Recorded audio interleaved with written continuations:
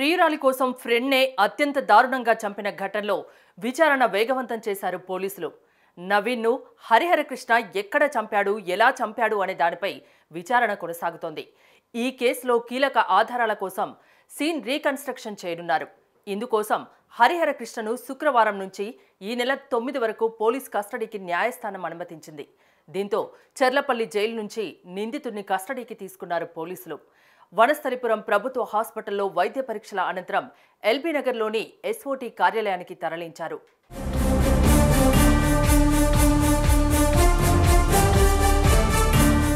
ఇప్పటికే సీసీ ఫుటేజ్తో పాటు నిందితుడు వాడిన బైక్ కత్తిని పోలీసులు సేకరించారు.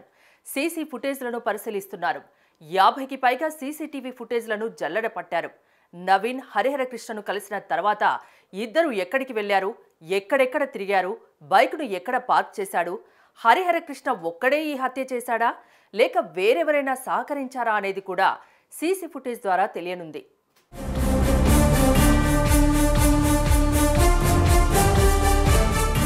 ఇదిలా ఉంటే నిందితుడు హరి డిలీట్ చేసిన వాట్సాప్ చాటింగ్ కాల్ డేటాను పోలీసులు రిట్రీవ్ చేసే పనిలో పడ్డారు. తన ప్రియురాలతో పాటు అతని స్నేహితులతో నవీన్ గురించి చేసిన చాటింగ్పై దృష్టి పెట్టారు. అలాగే నవీన్తో హరిహరకృష్ణ ఎలా మాట్లాడేవాడు? వారి మధ్య ఎలాంటి సంభాషణ జరిగింది అనేది కూడా సేకరిస్తున్నారు. వాట్సాప్ చాటింగ్ రిట్రీవ్ చేస్తే చాలా ఆధారాలు బయటపడే ఛాన్స్ ఉంది.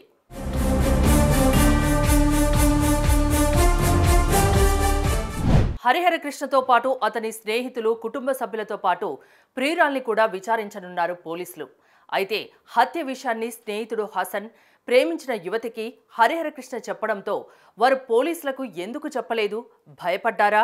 లేక ఇరుక్కుంటామనే భయమా అనే దానిపై ఎంక్వైరీ జరగనుంది. అలాగే హరికి ఆశ్రయం ఇచ్చిన హసన్ను పోలీసులు ఇప్పటికే విచారించారు.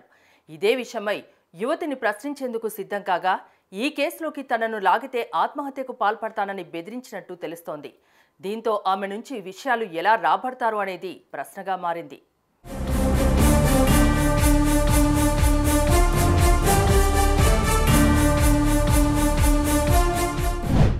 దీంతో పాటు సీన్ రీకన్స్ట్రక్షన్ కూడా చేయనున్నారు పోలీసులు.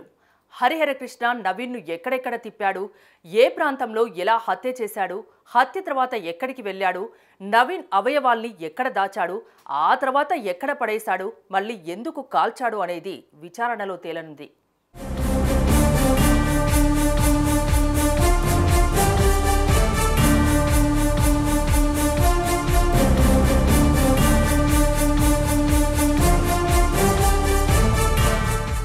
ఇదిలా ఉంటే ఇన్ని రోజుల నుంచి జైల్లో ఉన్న హరిహరకృష్ణలో మాత్రం ఎలాంటి పశ్చాత్తాపం లేదని జైల్లో కూడా ప్రశాంతంగా గడిపాడని తెలుస్తోంది.